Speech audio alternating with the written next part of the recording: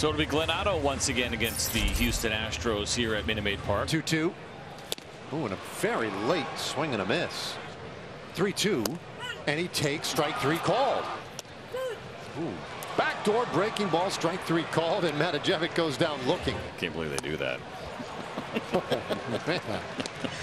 Oh, well, he gets a strikeout of McCormick, his fourth strikeout already tonight.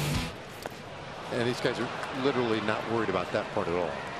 Just worried about keeping the mechanics in place as Alvarez strikes out swinging, and Otto does kind of have his number. That's the second out of the inning.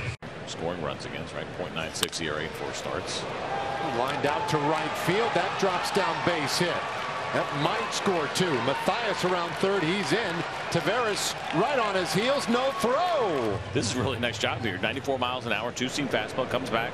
They were trying to go front door, probably a little bit too much of the plate. And there goes Ezequiel Duran again, doing a good job hitting the ball the other way. Remember, we saw him have some play coverage up in Boston, do a nice job on pitches away. But that time with a little bit of authority into the gap. Six innings and no more than three runs. And this one bounced up the middle. Altuve ranges back to grab it. This sort of first gets away. And it heads to their dugout. Bounces off the fence. You can see this ground ball go right up the middle and up the mound. The other part of it for Altuve, it's a two hopper. And the ball stayed down on Gurriel on that second hop. And it's a good job by Duran to watch the play and then take off and snooze that ball. Payoff's on the way.